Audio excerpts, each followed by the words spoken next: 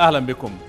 التعاطي الدولي مع تفشي وباء كورونا كان فرصة مهمة للوقوف عند الكثير من التحولات التي قد تطرأ على التحالفات والعلاقات بين الدول في المستقبل.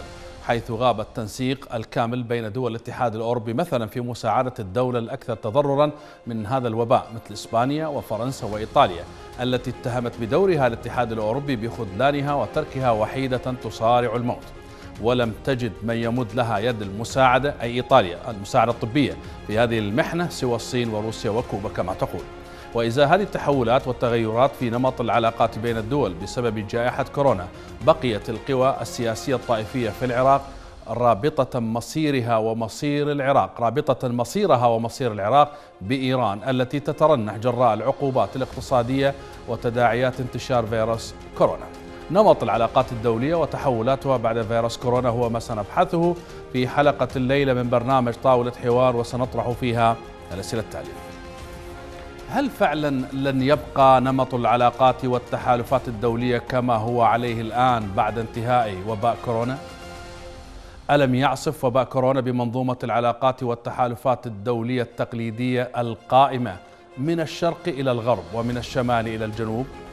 وهل ستتجه الدول بعد انجلاء جائحة كورونا إلى نمط من العلاقات والتحالفات قائم على البعد الإنساني أكثر منها أكثر منها أيديولوجي أو اقتصادي؟ ألم تكشف جائحة كورونا هشاشة ربط القوى الطائفية العراق قسريا ببلد مثل إيران خائر القوى الاقتصادية والطبية؟ ضيوف الطاولة رافع الفلاحي ثامر العلواني قحطان الخفاجي من دون سابق إنذار ولا مؤشرات جعل فيروس كورونا العالم يقف على قدم واحدة ونبه الدول إلى خطر داهم رصدت له كل الوسائل لإدارة معركة البشرية مع العالم الخفي عالم الفيروسات. بدل خارطة التحالفات وقلب نظام الأحلاف دول كانت تكيد لأخرى عداوات تقليدية أصبحت اليوم في صف واحد. الرأسمالي يتقرب من الاشتراكي والاشتراكي ينسلخ من صفه متقربا من الرأسمالي هكذا بدأت ملامح العالم بعد فيروس كورونا الذي يبدو أنه يؤسس لمرحلة جديدة تقلب النظام العالمي المعهود رأسا على عقب. وعلى سبيل المثال لا الحصر إيطاليا المحسوبة على المعسكر الغربي تشكر الصين المحسوبة على معسكر الشيوعية بسبب بادرة مساعدات قدمتها الأخيرة لها لمواجهة هذا الفيروس. كذلك صربيا وجدت دولا أخرى ساعدتها في الأزمة أكثر قربا من دول الاتحاد الأوروبي، بل إن هذه الأزمة أظهرت التفكك الحقيقي الذي يمر به هذا الاتحاد والتنافر بين دوله. مواجهة خطر الفناء أبقى من المصالح السياسية بحسب تداعيات كورونا الذي ضرب نحو 130 دولة وقتل ما يقارب 25 ألف إنسان من مجمل إصابات بلغت حتى الآن 600 ألف والعدد في تزايد بعد أن تفشى بشكل كبير في أمريكا وجعلها في صدارة دول العالم. حالها في الأزمة كحال خصمها الاقتصادي الصين بل أشد. وبعد أن كسر فيروس كورونا قواعد الهيكلية السياسية الدولية أصاب الاقتصاد العالمي في مقتل وجعله على أبواب أزمة كبرى.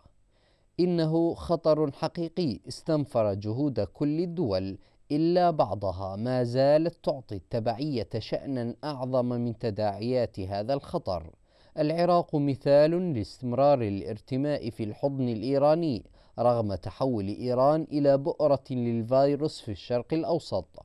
وما زال أبناؤه يدفعون ثمن هذه التبعية التي يريدها ساسة المنظومة الحاكمة. شاهدان في زمن واحد وأزمة واحدة. دول كبرى غير الفيروس قواعدها السياسية وساسة العراق على ما يبدو حتى السم لو صدرته إيران لكان على قلوبهم أحلى من العسل. أهلا بكم مشاهدينا الكرام مرة أخرى في هذه الحلقة من طاولة حوار والتي ستبحث في نمط العلاقات الدولية والتغير أو التحولات في التحالفات بين الدول القائمة بعد جائحة فيروس كورونا. ضيوف طاولة الدكتور رافع الفلاحي الكاتب والباحث السياسي وسيكون معنا من العاصمة الأردنية عمان عبر سكايب الدكتور ثامر العلواني مقرر القسم السياسي في هيئة علماء المسلمين وسيكون معنا أيضا عبر سكايب أو ربما عبر الهاتف حسب الاتصالات الدكتور قحطان الخفاجي أستاذ العلوم السياسية. مرحبا بالضيوف الكرام جميعا. لو بدأنا مع دكتور رافع الفلاحي. دكتور هذه هذا الفيروس الجائحة الوباء وباء كورونا الذي يضرب الكرة الأرضية تقريبا يعني كلها. كان له تأثيرات كبيرة في السياسة الاقتصاد وحتى في نمط وشكل العلاقات والتحالفات بين الدول من الشرق إلى الغرب ومن الشمال إلى الجنوب. كيف أثرت هذه الجائحة أو هذا الوباء على نمط أو شكل العلاقات الدولية القائمة؟ بسم الله الرحمن الرحيم، أستاذ ماجد عادة دول العالم كلها تتأثر بالأحداث الكبيرة. يعني أي حدث كبير يحصل في المحيط الدولي يؤثر على كل الدول ويؤثر حتى على التحالفات القائمة، يعني خذ مثلا الحرب العالمية الأولى عندما قامت من عام 1914 إلى 1918 كانت هناك تحالفات مجموعة من الدول متحالفة. وكان هناك تفكير سائد غير التفكير الذي حصل فيما بعد انتهاء الحرب. يعني بعد انتهاء الحرب كثير من المفاهيم كثير من الرؤى كثير من تشكيلات الدول وتوجهاتها قد اختلفت. يعني بدأنا بدأنا نلمس في ذلك الوقت عندما تراجع التاريخ دول قد انشقت وبدأت بعيدة عن الفكر الرأسمالي دول يعني تؤسس لنفسها نظاما جديدا فيما بعد عرفنا النظام الاشتراكي وهكذا كانت الدول دائما تحالفاتها كانت عصبة الأمم قد شكلت وبعد ذلك شكلت الأمم المتحدة. هذه التحالفات وشكل العالم وسياسات العالم وتوجهاته تتأثر بالأحداث الكبيرة. يعني حتى في إذا ما جئنا إلى كورونا اللي حضرتك أشرت لها حدث مفاجئ حدث في العالم. ربما غالبية دول العالم ليس ربما لكن بالتأكيد دول العالم كلها لم تكن لم يكن في خلدها أن تتعرض لمثل هذه الهزة الكبيرة هزة أثرت على الاقتصاد أولا الإنسان أساسا وأثرت على الاقتصاد، أثرت على علاقات الدول، على حركة الدول في في العالم. شاهدنا العالم يبدأ مع يعني مع انتشار هذا الفيروس الخطير يبدأ ينقسم إلى جزر متباعدة.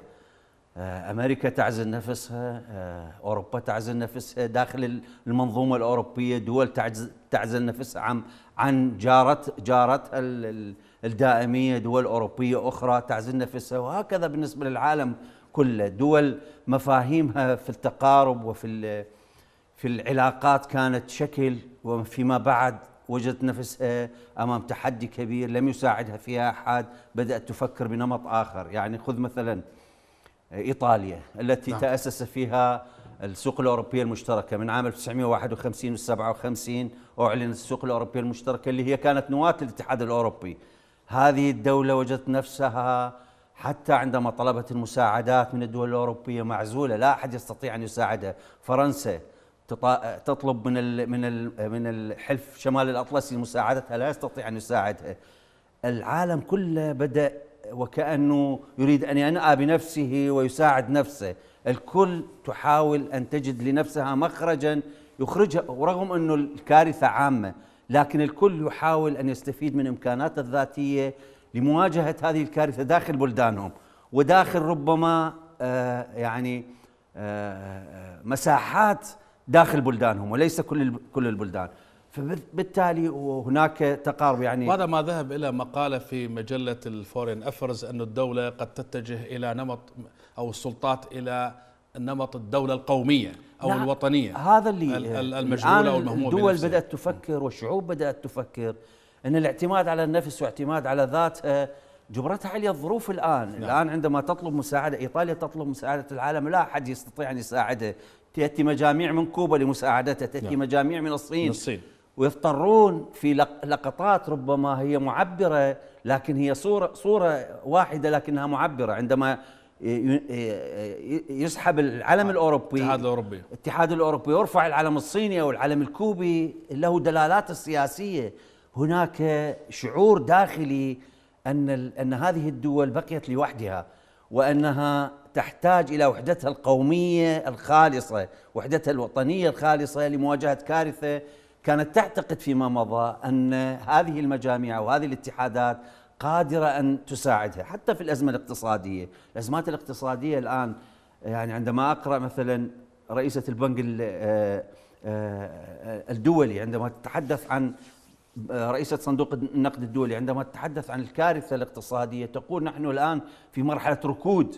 هذا الفيروس حول الركود والاقتصاد مثل ما تعرف عصب السياسة. نعم. عندما يتحول العالم الآن إلى مرحلة الركود ويخشون من تحول هذه المرحلة إلى المرحلة الأصعب هي الكساد.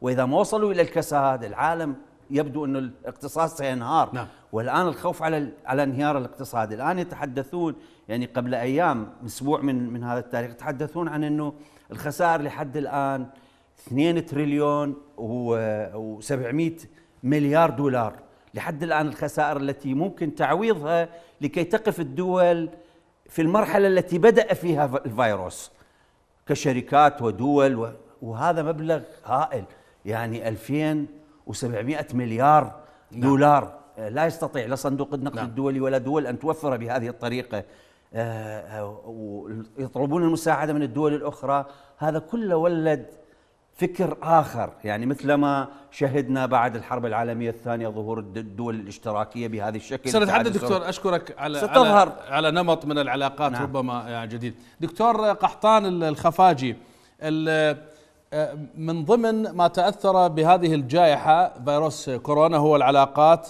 والتحالفات بين الدول. هل يمكن القول أن هذا النظام الدولي الذي تشكل بعد الحرب العالمية الثانية وربما تعزز بعد انهيار الاتحاد السوفيتي عام 91 في طور التفكك الآن في طور التحلل الآن في طور التلاشي ربما هناك نظام آخر من العلاقات بين الدول. يتجاوز ربما المسألة الأيديولوجية مسألة ربما الفضاءات الاقتصادية إلى إلى بعد أكثر إنسانية. ممكن الحديث؟ حياك الله ابدا أخي العزيز وحيا القناة. وحيا اساتذه الأفاضل الحضور والمشاهدين الكرام.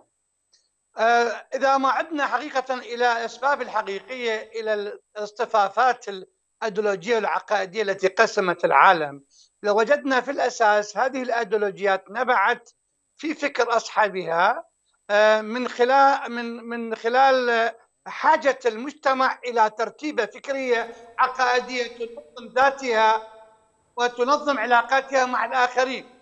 وبالتالي ظهر أحيانا تصارع وظهر تعاون وفق مصالح القوى المؤثرة في ترتيبة المنظومة الفكرية. إذا المنظومة الفكرية جاءت نتيجة إلى حاجة. كورونا فيروس كورونا فرض حاجة أكبر من حاجة الجهات الضيقة. وبالتالي أنا أضم صوتي إلى صوت من يذهب إلى أن الحدود الفكرية الأيديولوجية ستنتهي نهائيا. في الأيام القريبة. ولعل مثل ما تفضل زميلي الأستاذ رافع ان والواقع يقول أن الكورونا دفعت أو انهار بها الحدود الأيديولوجية بين الدول الاشتراكية وأخرى راسماليه وأخرى فردية وأخرى شمولية وأخرى ديمقراطية. نعم أقول أنا كمتابع إلى أن طالما الأيديولوجيات تفرض حالات الحاجة فالحاجة الاجتماعية الآن سواء في دافع الاقتصادي أو دافع الإنساني أو دافع الصحي أو بأي دافع تستجب عملية توافق وتعاون دولي يتخطى الحدود الضيقة. لذلك أرى أتوقع أن الأمور تذهب بهذا الاتجاه. لدينا هنا مسألة أساسية أنه من الذي سوف يكون ذا حظ أوفر في هكذا علاقات؟ توقع تلك الدول التي كانت إلى حد معين تدفع بالجانب الإنساني.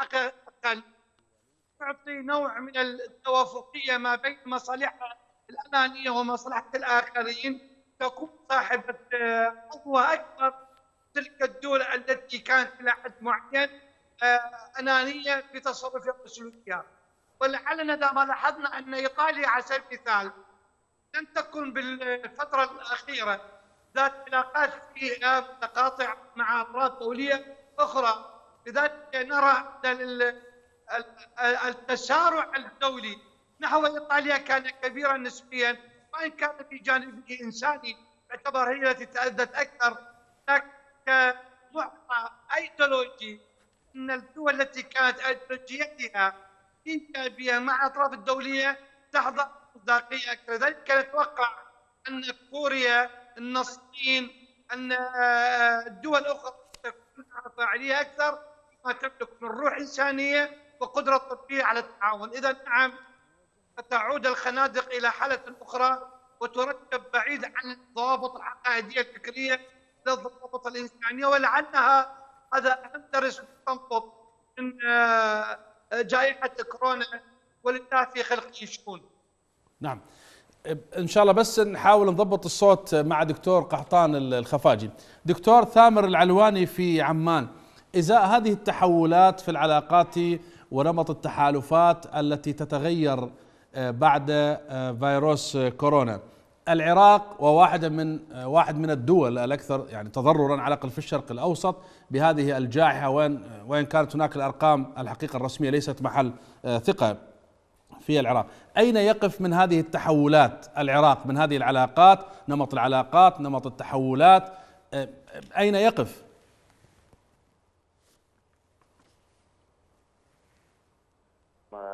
الأخوة في الاستوديو عبر السكايب آه، في رأيي طبعا التحالفات الدولية ستتغير جزئيا بعد جائحة كورونا نعم. في العالم إلا في حالة عجز أمريكا عن الخروج من الأزمة بأقل خسائر لكن في العراق طبعا لن يتغير شيئا في ظل العملية السياسية الراهنة في وجود أحزاب آه، تبع لإيران وأقصد هنا العلاقات الإيرانية مع الحكومة العراقية في حال استمرارها.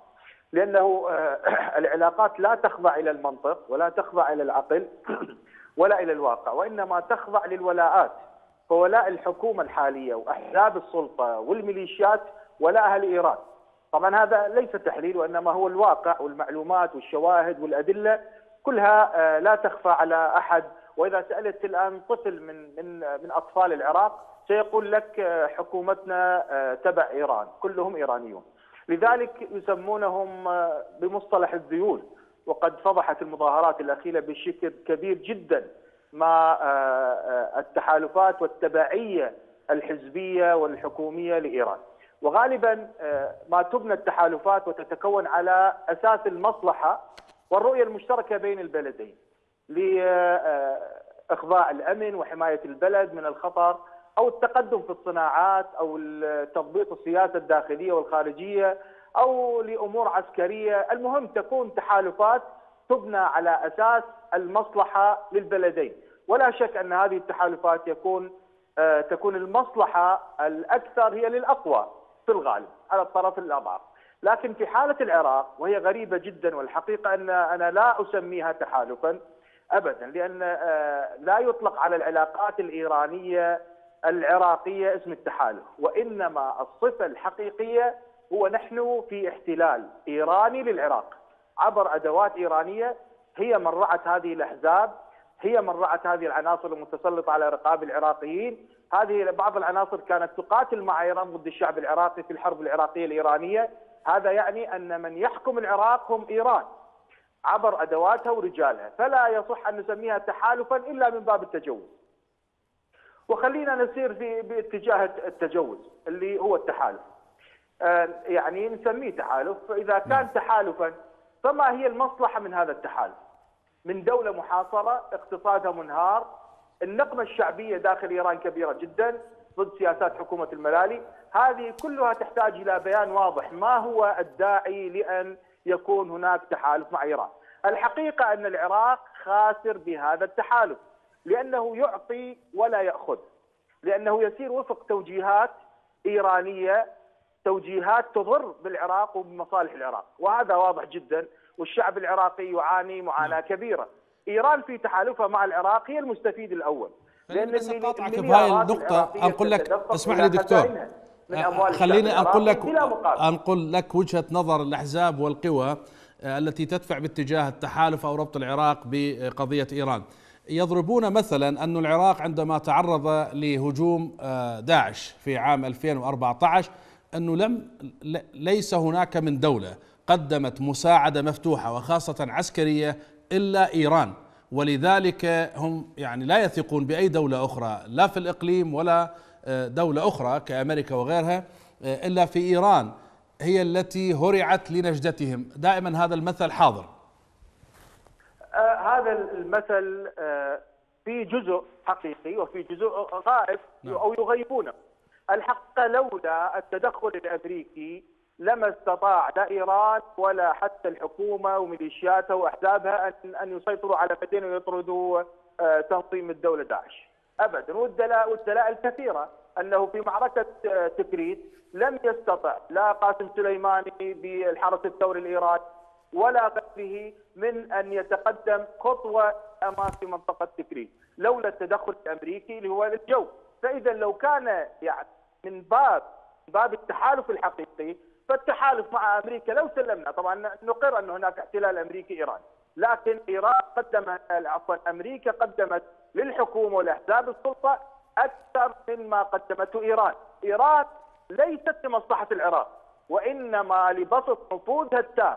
ولذلك استفادت إيران من هذا التدخل العسكري بأن جعلت سلطة الميليشيات تبسط سيطرتها الكاملة على الأراضي العراقية طبعا ليس فقط بجهود إيران وإنما برغبة أمريكية أرادت ذلك. ماذا جنى العراقيين من هذا التحالف؟ اذا اذا اذا إذا آه، قسنا الواقع على الأرض جنى الدمار والخراب ولا جائحة كورونا هذه التي يعاني منها العراق نعم. هي أبرز ما قدمته إيران للشعب العراقي نشر الوباء في العراق لولا إيران لما انتشر الوباء في العراق إذا الخاسر الحقيقي من هذا التحالف هو العراق وليس إيران لأن كل أموال العراق تذهب إلى إيران. أشكرك. إذا مشاهدينا الكرام نتوقف عند هذا الفاصل القصير ثم نعود لإكمال النقاش والبحث مع ضيوفنا في طاولة حوار الدكتور رافع الفلاحي والدكتور ثامر العلواني والدكتور قحطان الخفاجي. بعد الفاصل نعود ابقوا معنا.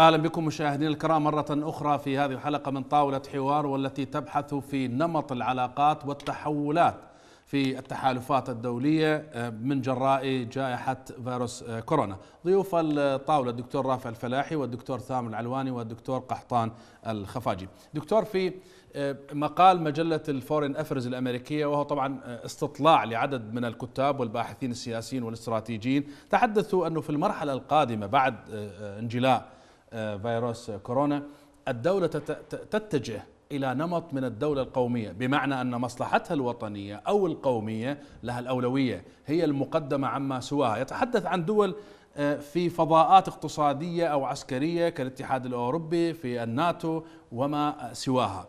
هذه المصلحة القومية هي التي ستكون آه، المحراب أو البوصلة لهذه الدول. هذا الأمر ينطبق في منطقتنا في العراق مثلا؟ أستاذ ماجد يعني يعني بغض النظر عن عن كل اللي حتى في أوقات المحن أنت ربما هناك تنافس بين الدول لتقديم لتقديم شيء ربما يخدمهم في المستقبل. يعني الآن الحديث يجري أن الصين تسبق الآخرين خطوة لأنها تقدم مجاميع طبية وتقدم أجهزة طبية هنا وهناك في العالم لذلك هي لديها ربما الحديث عن أن الصين هي صاحبة هذه التجربة أول من بدأ بها هذا الفيروس وهي صاحبة التجربة الأعمق آه، والأكثر يعني درامية مثل ما يقال. في بداية في بداية كورونا هي بدأ عندها فلذلك تجربتها ربما استنسخت في في العالم بطريقة أو بأخرى. لكن بعد أن تنتهي هذه هذه هذه يعني آه، يتم القضاء على هذا الفيروس. هل ستبقى النظرة للصين بهذا الشكل أم سيذهبون إلى وضع الصين في قفص الاتهام لأنها هي من كانت في بداية في بداية الأزمة لم لم تصرح عن عن هذا الفيروس اللي موجود آه، لديها؟ هذا ناحية. الناحية الأخرى أنه العالم كله الآن إجابة على سؤال حضرتك نعم. العالم كله الآن ينظر ربما باندهاش أو باستغراب يعني الآن تنظر أنت في أفريقيا الأفارقة ينظرون إلى الدول التي وحتى في آسيا وفي كل الدول اللي تسمى نامية الكل ينظرون إلى الدول المتقدمة الأوروبية وأمريكا على أنها دول متقدمة تكنولوجيا وعلميا وإذا بها دول ضعيفة أمام هذا الفيروس مع كل قواها العسكرية والاقتصادية بدت دول منهارة آه، إيطاليا منهارة تعود مرة أخرى وهي يعني كل دول أوروبا وكل دول العالم كانت كانت تتهم الدول الأخرى بأنها في قضية حقوق الإنسان وتتحدث عن حقوق الإنسان ورعاية الإنسان من المهد إلى اللحد وهكذا، لكن نلاحظ مثلا في أوروبا في بريطانيا وفي في إيطاليا مع مع تفشي هذه هذا الفيروس بدأوا يتحدثون عن العودة للأساسيات التي كانوا يستخدمونها في الحرب العالمية الأولى والثانية واللي هي, واللي هي؟ التضحية بالكبير. يعني عندما يكون نعم هذه كانت في الحرب. يعني آه، آه، عادوا إلى السياقات التي اتبعوها في الحرب العالمية آه، في الحروب. عندما يأتي عشرة مرضى هو الطبيب من حقه أن يختار ال الذي يعتقد إنه الأصلح للمستقبل. يختار المستقبل. فيضحي بتسعة منهم ويضحي عادة بالأعمار الكبيرة. لذلك بدأ الحديث عن التضحية بالأعمار الكبيرة. من هم فوق ال 65 وهكذا كانوا يتحدثون عنها. وكأنه هؤلاء الناس سبة وكأنه آه، مرض كان وتريد أوروبا وتريد العالم أن يتخلص منه. عكس الدول التي فيها آه، علاقات اجتماعية علاقات إنسانية علاقات دينية متميزة آه، لم تقبل بهذا بهذا الأسلوب. وكانت مغشوشة ربما شعوبها بهذا بهذه الهالة من من الحديث عن عن الحقوق الإنسان وإضافة إلى هذا آه، التكنولوجيا التي كنا نراها وهذه الجيوش التي كانت كل دول الدنيا تراها آه، ترى ترى في دول تمتلكها قوة لا يستهان بها ولا يمكن قهرها. وإذا بفيروس يقهرها بهذا الشكل. وإذا بتفكيرها قاصر حتى عن مواجهة الأزمات الكبيرة. يعني خذ مثلا الولايات المتحدة الأمريكية ظهر أن لديها 24 ألف سرير للطوارئ. هذه الدولة العظيمة آه، لم تستطع استهانت بهذه القضية. وهكذا بالنسبة ألمانيا تتفاخر بأن لديها 25 ألف سرير بينما دول كثيرة مثل تركيا مثلا لديها 100 ألف سرير.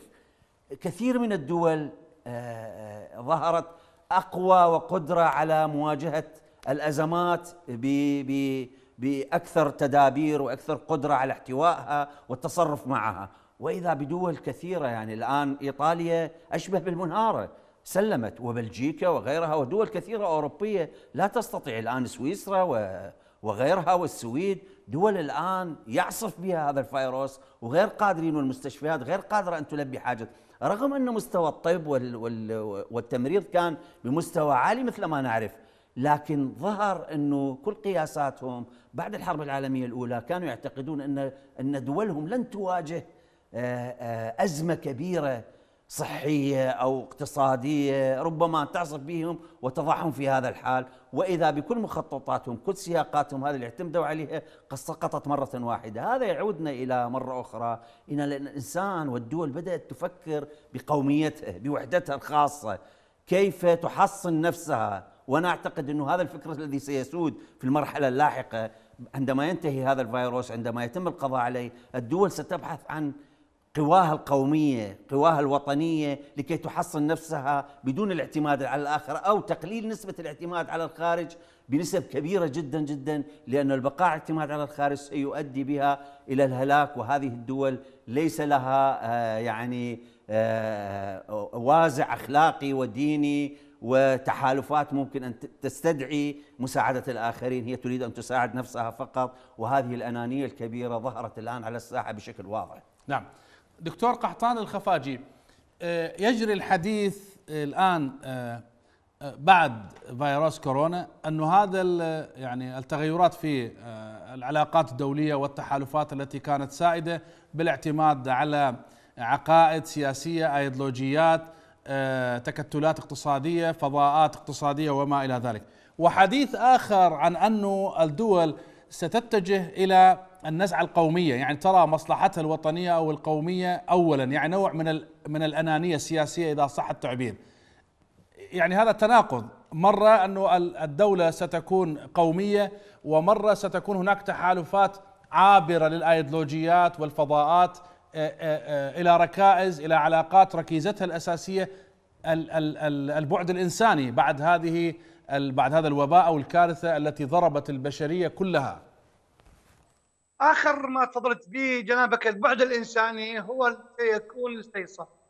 المشكلة أين أخي العزيز في قراءتنا كاستراتيجيين إلى دور الأيديولوجية في التكونات السياسية السابقه والعسكريه.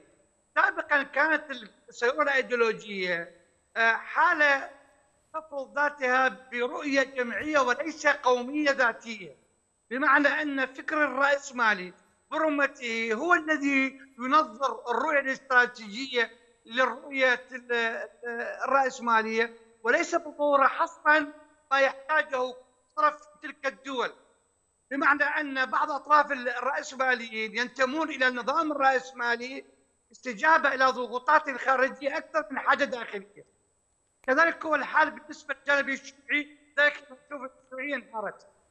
الذي نراه الآن ونتوقعه كمحللين استراتيجيين في هذا الصدد أن الجانب الإنساني هو الذي سوف يطغي على العملية. بمعنى أن الحالة الجمعية التي نراها ستكون فاعلة لا تظهر خلال فقط إطلاعات خارجية على الدول هذا ما تملى من رؤية تكاملية ما بين حاجز الجميع للكل للجزء وحاجز الجزء للكل. الصورة التقريبية ذلك أن إيطاليا على سبيل المثال تحتاج اطراف دوليه أخرى غير ذات التفكير الايديولوجي الذي كانت تقتنع به هي.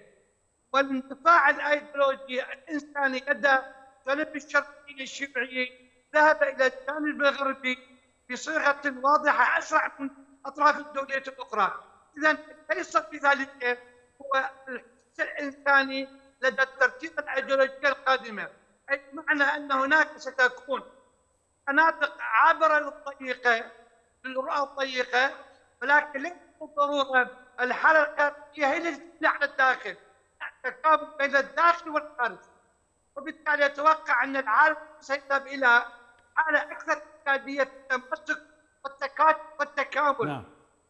وليس الانتماء أو الاعتمادية على الآخرين لبناء الذات نعم التي.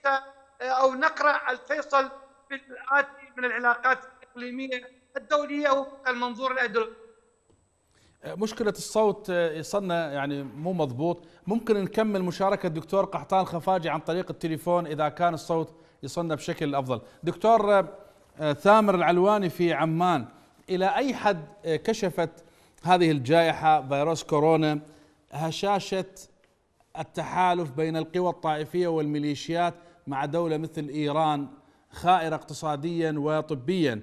وطبعا هناك تقرير لخبراء أوبئة إيرانيين يتحدثون طبعا وربما الآن يعني هذا وقع إنه آه، إذا ما انتشر الفيروس في إيران بشكل وبائي أوسع فإن السلطات في إيران لن تتمكن من التصدي له إلا بمساعدة دولية خارجية.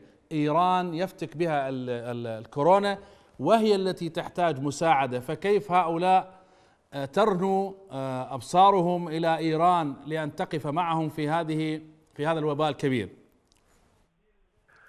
آه، بداية إيران آه، الآن الوباء منتشر فيها لكن المشكلة الحقيقية أن الأرقام كما صرحت آه، بعض الدول إيران تخفي الأرقام الحقيقية فيما يتعلق بإصابات فيروس كورونا وتخفي أعداد القتلى. اليوميا يعني تقريبا ما يقارب 130 إلى 140 شخص يموت في إيران بسبب فيروس كورونا. إذا أردنا أن أن نعرف مدى هشاشة هذا الأمر ولماذا. يعني أولا نبحث ما هي الأسباب التي جعلت هذا التحالف ولا في رأيي هو احتلال. أسباب التحالف هو وجود أحزاب موالية لإيران تعلن ذلك صراحة وجهارا نهارا وجود ميليشيات خاضعة للأوامر الإيرانية مباشرة ولا تخضع لأي سلطة في العراق مع أن السلطة هي بالأصل خاضعة لإيران الحكومة خاضعة لإيران لكن إيران تستخدم ميليشيات وتستخدم حكومة كل جهة هي تابعة وموالية. لكن هذه الصورة تظهر مدى النفوذ الإيراني في العراق قلت عنه احتلال وليس تحالف. إيران تعتبر العراق فقرة حلوف تدر لها الدولارات وتكسر الحصار المفروض عليها. أمر آخر إيران استخدمت أموال العراق لتمويل الجماعات الإرهابية التابعة لها ولقيادتها والتوجيه إيراني والأموال تدفعها حكومات العراق الموالي لإيران بالأصل وهذا يبين الرابح الأكبر من هذا التحالف وإيران. طبعا الشعب العراقي لا يملك أدنى مقومات البنى التحتية كهرباء مفقودة مع أنه يشتري من إيران بمليارات الدولارات. اسم كهرباء موجود أما الواقع فلا يوجد كهرباء في العراق. الماء غير صالح للشرب القطاع الصحي سيء ومتدني إلى درجة لا يمكن أن يتخيلها عاقل في العراق. أمام الأموال التي تصرف وتسرق في هذا المجال، جماعة مقتدى الصدر مسؤولين على وزارة الصحة، وزارة الصحة والقطاع الصحي كل امواله تذهب إلى جماعة مقتدى الصدر وسائرون لأنها وفق المحافظه آه، آه، هذه حصة آه، مقتدى الصدر. فكل الأموال تؤخذ لهذه الجماعات والميليشيات ولا يصرف منها على القطاع الصحي ابدا، التعليم في آخر مراتب الترتيب العالمي، إذا نحن أمام كارثة إنسانية في العراق إذا ما استمر النفوذ الإيراني أو ما يسمى بالتحالف. نعم، أشكرك. دكتور رافع الفلاحي آه، في هذه هذا الوباء حتى الدول اللي هي ضمن تكتلات سياسية أو عسكرية أو اقتصادية، دول الاتحاد الأوروبي مثلا عندما وجدت هذه الدول نفسها لا يمكن أن تقدم يد المساعدة إلى حلفائها في هذا التنظيم آه، في هذا التكتل آه، سارعت لنجد شعبها وحياة شعبها اولا ومصلحتهم اولا لأنه آه، ليس لديهم فاض حتى يذهبوا به إلى بقية الدول. إلا في العراق الإيران كانت بؤرة رئيسية لهذا الوباء في الشرق الأوسط. الحدود بقيت مفتوحة. الرحلات الجوية بقيت تذهب وتجيء آه، من إيران. آه، لذلك هذا واحد بل هو هذا العامل الرئيس الذي أدى إلى تفشي وباء كورونا وخاصة في بغداد وجنوب العراق بالذات. يعني حتى في هذه الأزمة في هذه الطامة الكبرى يبدو أن لا مصلحة قومية المصلحة القومية للموجودين في السلطة ليست هي البوصلة. نعم أستاذ ماجد لأنه بصراحة يجب أن نحدد الموضوع بشكل بشكل يعني منطقي وحقيقي. كل حكومات الدنيا اللي حضرتك تحدثت عنها آه، اللي اتجهت لشعوبها لديها أولويات. نعم. في أجندة هذه الحكومات أولويات. وأول أولوياتها هي شعوبها. لكن هذه بنسب معينة. وثاني أول...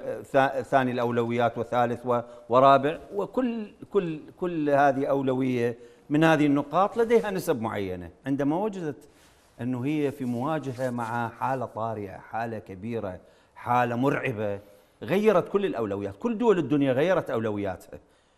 بدأت تركز كل هذه الدول بدأت تزيد نسبة أولويتها اللي هي شعبها. وضعت النسبة الأكبر ربما 90% 95% لشعبها وربما 100% لشعبها وضعته. نحن في العراق هذه الحكومات من عام 2003 لحد الآن ليس في أجندتها أولوية تسمى الشعب العراقي. ليس هناك بند خاص للشعب العراقي لا تراعي الشعب العراقي.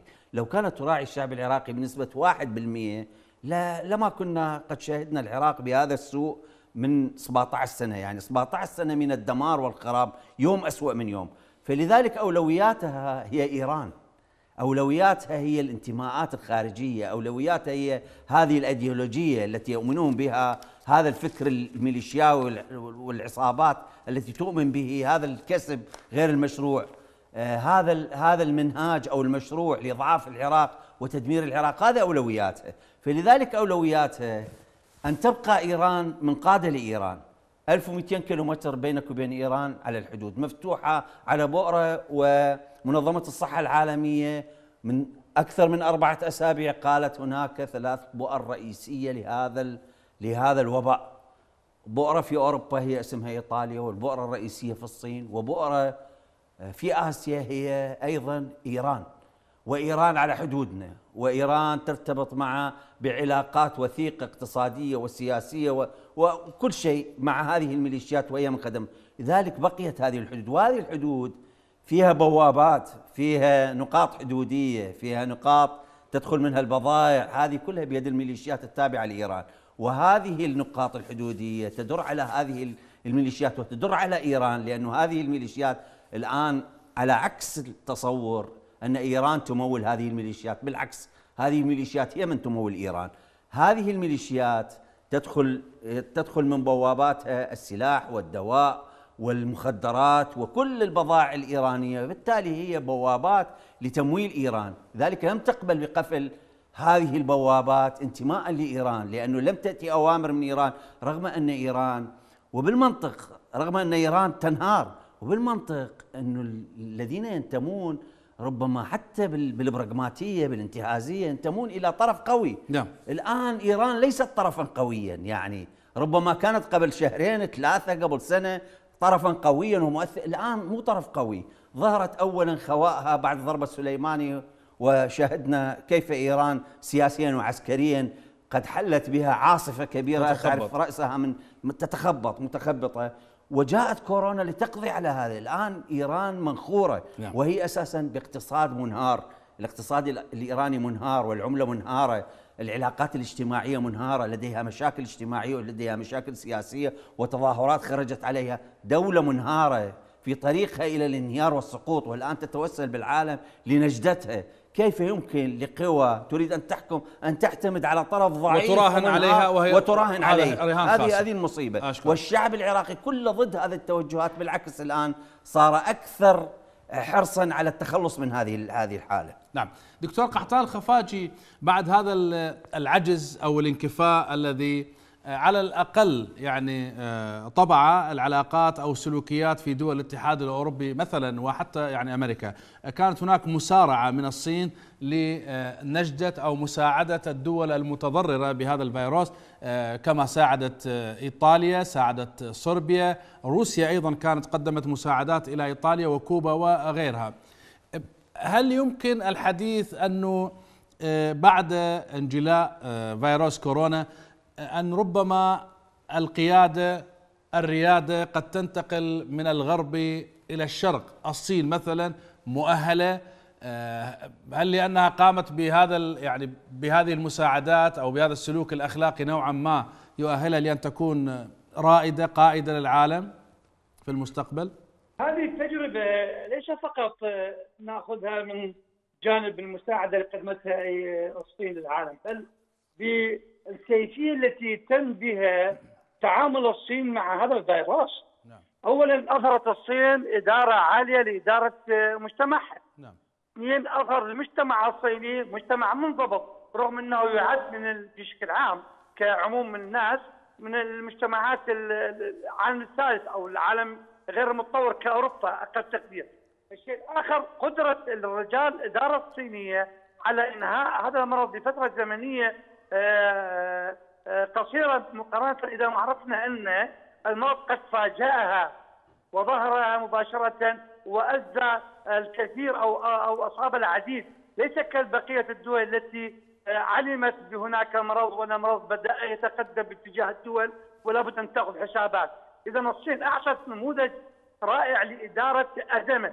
هذا رقم واحد. اثنين عطاء الصين للجانب الإنساني بشكل عام يعطي رسالة حقيقيه إلى الصين أنها دولة ليست من التي تفكر برؤيه أنانية على حساب شعوب بقدر ما تؤمن بمد علاقات إيجابية مع الصين. الشيء الثالث أن هذه الدولة تجاوزت بعض التقاطعات مع المجتمع الغربي حيال بعض القضايا الصينية العالقة أو موضوع البحث أو الخصام أو الإشكالات.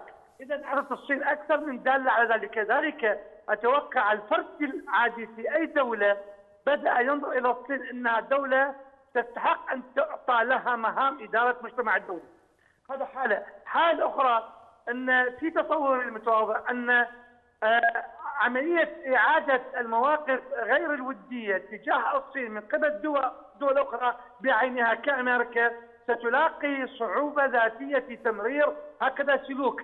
أي بمعنى أن حجم العداء الخارجي إلى الصين سيتراجع إذا ما تابعنا النقطتين الاساسيتين هو دالة الفاعلية الصينية باداره ازمات دوليه بهذا الحجم يقابله آه، تراجع في احتمالية التقاطع الدولي لأي سبب كان مع الاداره الصينيه على حراكها الدولي سيجعلنا نقول أن الصين ستتبوأ.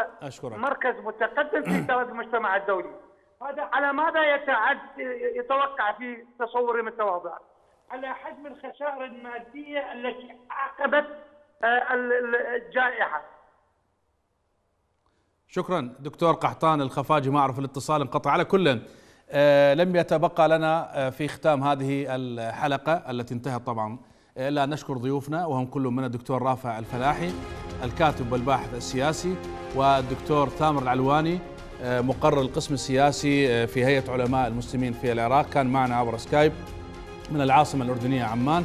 وكذلك نشكر الدكتور قحطان الخفاجي أستاذ العلوم السياسية. وأشكركم مشاهدينا الكرام وحتى نلتقي في الأسبوع القادم في أمان الله.